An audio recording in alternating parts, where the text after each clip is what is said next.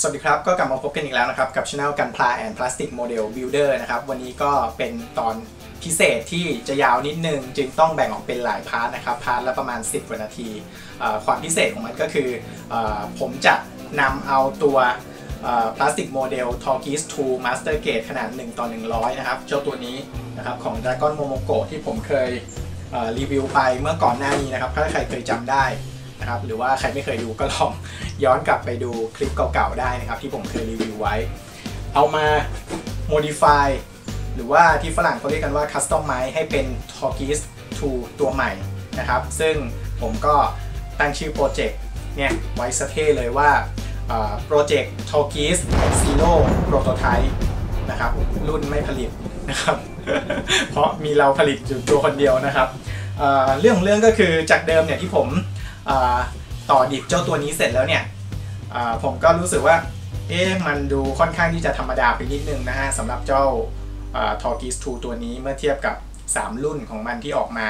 นะครับคือ Tallgeese เนี่ยถ้าใครเคยดู Gundam Wing มาก่อนก็จะรู้ว่าหน้าตาของแต่ละรุ่นเนี่ยที่มันมีทั้งหมด 3 รุ่นเนี่ยไม่ค่อยแตกต่างกันมากนะยิ่งช่วงตัวอะไรเนี่ยไม่ต่างกันเลยต่างกันแค่หัวอาวุธไหล่แค่นั้นเอง ผมก็เลยคิดว่า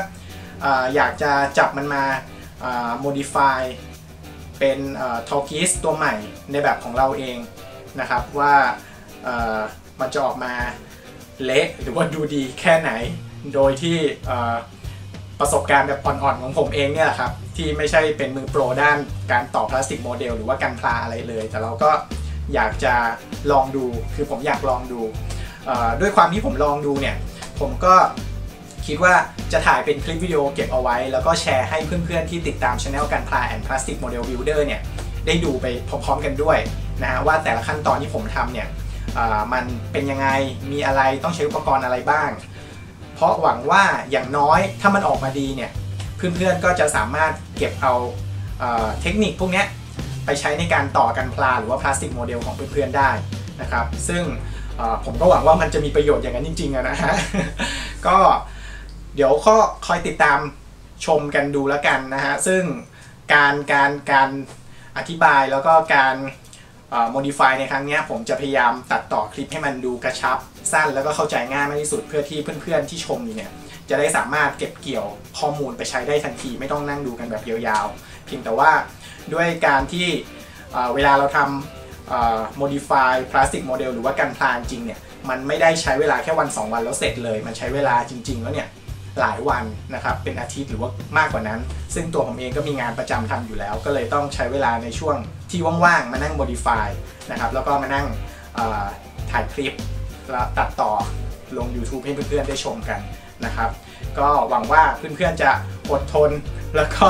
รอคอยที่จะชมในแต่ละตอนของของของคลิปชุดนี้นะครับในการ modify เจ้า Project t a l k i Zero Prototype เนี่ยนะครับว่ามัน จะออกมาแล้วดูดีหรือไม่ดียังไง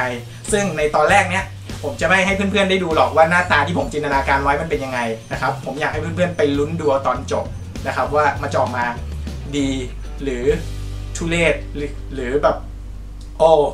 ไม่ไหวแล้วโยนทิ้งเลยดีกว่าอะไรประมาณนั้น ก็เดี๋ยวลุ้นไปกับผมแล้วกันว่ามันจะออกมา work หรือไม่ work นะครับกับ Project t o r g i s Zero Prototype ไปชมกันได้เลยครับ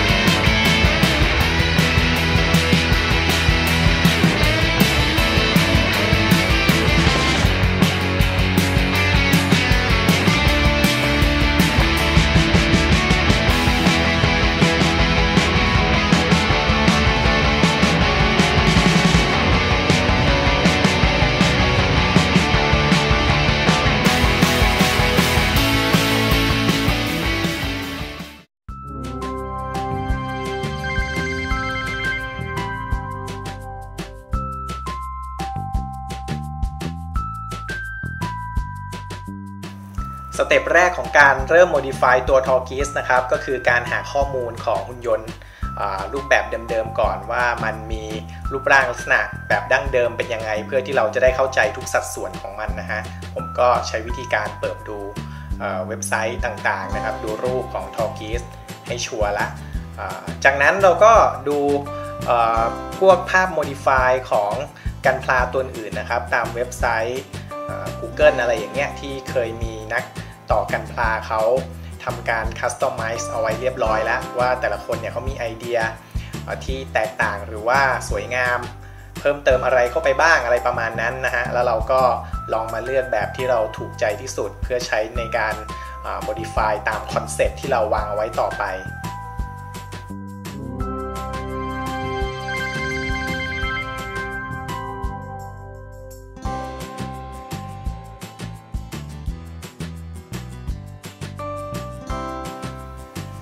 หลังจากที่เราได้ภาพแล้วก็ข้อมูลของ t a l k i s จากอินเทอร์เน็ตมาแล้วนะครับ ผมก็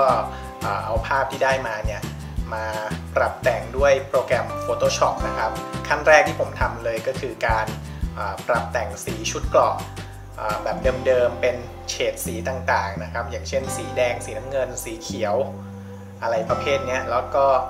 ดูว่ามีเฉดสีไหนที่มัน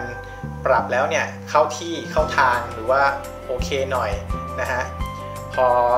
ลองปรับชุดเกราะแบบเดิมๆดูแล้วก็ลองเพิ่มสีเข้าไปในจุดอื่นๆดูบ้างอย่างเช่นช่วงช่วงล่างช่วงเข่าต้นขาอะไรอย่างเงี้ยซึ่งแต่เดิมเนี่ยตัวทอกิสมันจะเป็นสีขาว ผมก็ลองปรับเปลี่ยนเป็นสีแดงทั้งตัวดูนะครับ แล้วก็ลองอเพิ่มเฉดสีเข้มๆเข้าไป แล้วก็ลองเปลี่ยนเป็นสีอื่นดูนะครับว่าโอเคหรือเปล่า จากนั้นก็ปริ้นออกมาครับปริ้นออกมาดูเลยว่า มันดูดีแบบที่เราต้องการหรือยังนะครับ ลองทำหลาย ๆ สีดู แล้วก็ลองเอามาวางเทียบกันดูอย่างที่เห็นในวิดีโอนะฮะผมก็ปริ้นตัว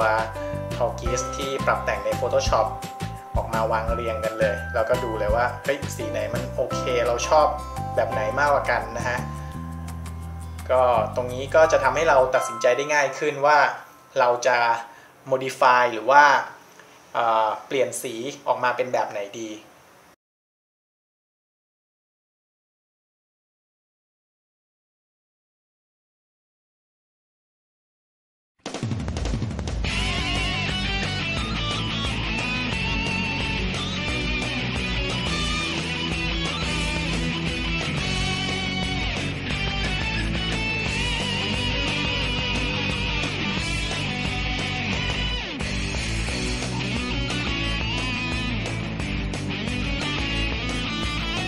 เรดเฟรมนี่แหละครับคือแบบที่ผมต้องการใช่เลยนะครับ เพราะว่าการเปลี่ยนสีแบบเดิมๆเนี่ยมันอาจจะดูกร่อยๆไปหน่อยนะครับ พอดีผมก็เปิดไปเปิดมาก็ไปเจอเจ้า a d t r a y Red Frame ดูแล้ว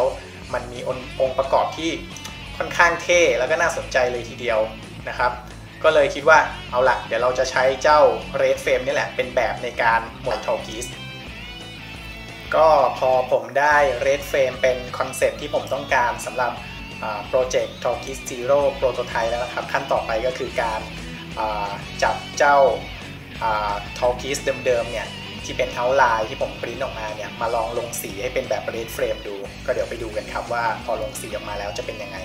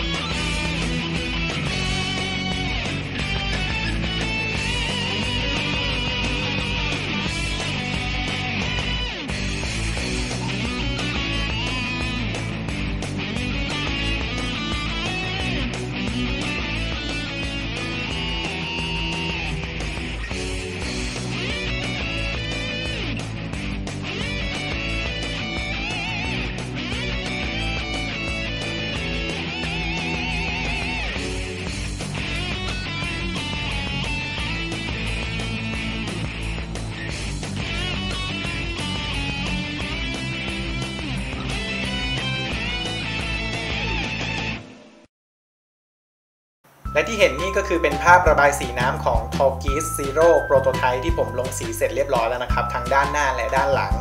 ซึ่ง